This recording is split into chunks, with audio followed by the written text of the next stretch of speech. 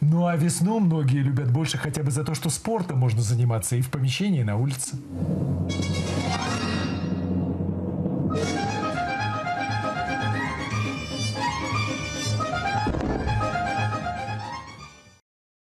Насколько популярны гири сегодня? Есть ли им альтернатива? И кому они показаны или противопоказаны, после вести узнаем.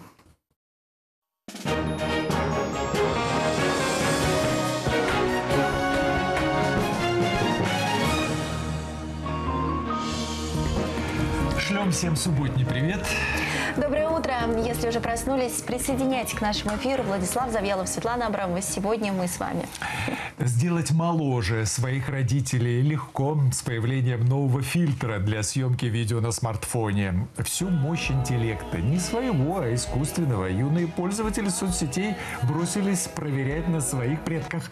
Мамы и папы на видео улыбаются и грустят, увидев на экране себя, как в молодости. Молодильный фильтр действует словно какое-то сказочное зелье. За секунду разглаживая морщины, надувая впавшие щеки и поднимая опущенные веки.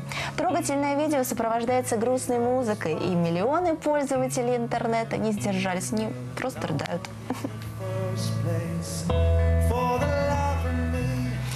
Но поднять настроение можно в два счета, отлипнув от смартфона и взявшись, например, за гири. Во времена Советского Союза они были неотъемлемым атрибутом спартакиаты, сдачи норм ГТО, активно использовались в подготовке военнослужащих.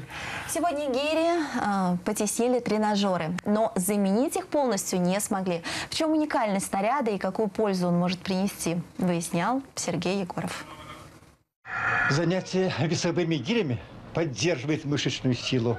Вот я сейчас покажу мне три классических упражнения – занятия с весовыми гирями. В советское время умение поднять пудовую гирю над головой – норма для здорового мужчины. Но продемонстрировать тройку классических движений, таких как рывок, толчок и жим, казалось, мог любой физкультурник. В целом этих упражнений считалось достаточно для поддержания хорошей физической формы. Хотя на самом деле возможности для укрепления здоровья, которые таит в себе этот простой на вид снаряд, намного шире. Взять, к примеру, силовое жонглирование. Специфическая форма гири, напоминающая пушечное ядро с ручкой, позволяет выполнять элементы, которые невозможно повторить со штангой или гантелями. Эффектным является бросок через плечо, потому что здесь мы не видим гирю и ловим мы ее, в принципе, на интуиции.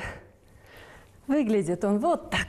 В основе силового жонглирования лежат различные виды махов, требующие не столько силы, сколько скоординированной работы мышц. Подобные движения развивают скорость реакции, ловкость, двигательную интуицию. Несмотря на серьезный расход энергии, основная нагрузка ложится не на крупные мышечные группы, а на относительно небольшие мышцы-стабилизаторы, отвечающие за баланс. Жонглирование гирями – это то направление, которое позволяет держать себя в хорошей форме, при этом не наращивая мышечную массу. То есть у меня процентов 80 спортсменов, они худенькие, стройненькие. Конечно, осваивать сложные перебросы гири лучше под руководством тренера. Тем, кто занимается в домашних условиях, придется отдать предпочтение подготовительным упражнениям, которые будут полезны не только спортсменам. Есть такое упражнение «Маятник», а, которое поможет проработать мышцы спины, имея дома хотя бы одну гирю очень поможет тем, у кого сидячая работа. То есть гири здесь является противовесом Делаем спинку прямой, немножко наклон вперед, немножко прогибаем коленочки. И пошел такой своеобразный маятник. Три-четыре подхода – это упражнение с напряженной поясницей, и спина у вас будет здоровая. К слову, гирю одного и того же веса можно использовать для достижения самых разных целей, будь то улучшение координации, увеличение силы прямо. мышц или похудение. Если наша задача э, набрать мышечную массу, да, соответственно, мы делаем изолированные упражнения, допустим, на проработку плеч – это делается просто строгий жим.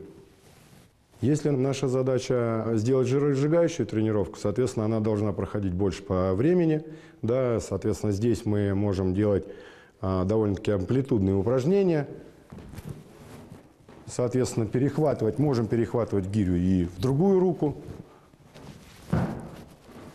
и стараться задействовать как можно больше мышц. У подобных амплитудных движений, помимо жиросжигающего эффекта, есть и другой неоспоримый плюс. Такие упражнения многосуставные, э, с большой амплитудой. Это очень полезно для диабета второго типа. Буквально 10 минут в день, утром и вечером, позволяет человеку снизить уровень сахара крови. С этой точки зрения одним из лучших упражнений являются так называемые русские Чуть махи. Это одно из наименее травмоопасных движений с гирей. Упражнение представляет собой вымахивание гири двумя руками за счет небольшого приседания и толчка тазом. Это упражнение настолько вызывает улучшение силовой выносливости и вообще выносливости, что те люди, которые ненавидели бег, как позанимаются месяц, два, три, начинают бегать с удовольствием. По затратам калорий всего 10 минут подобной работы сравнимы с 30 Поясницу. минутами на беговой дорожке. Вот когда вы интенсивно быстро идете, допустим, это же расход энергии, расход.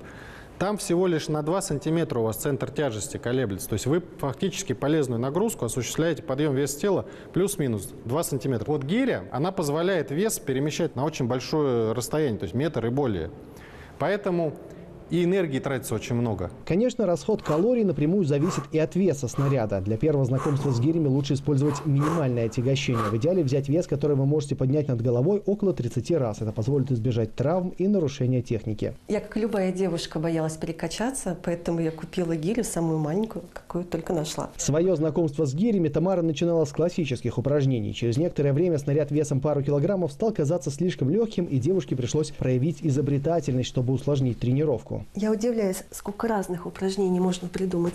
С гирей сейчас при подъеме из положения лежа работает каждая мышца Через год занятий Тамара могла чередовать упражнения на силу, выносливость и баланс, практически не выпуская гири из рук. Постоянное перемещение крови от одной работающей мышцы к другой, которое происходит во время таких тренировок, способно здорово укрепить сердечно-сосудистую систему. За два года домашних тренировок с гирей мое тело приобрело а, подтянутость, а, мои мышцы стали рельефнее. Если раньше я страдала метеозависимостью, то сейчас мое давление выровнялось. Немаловажным плюсом для любителей домашних тренировок часто становится и размер снаряда, ведь даже относительно увесистая гиря занимает площадь едва сравнимую с небольшим блюдцем.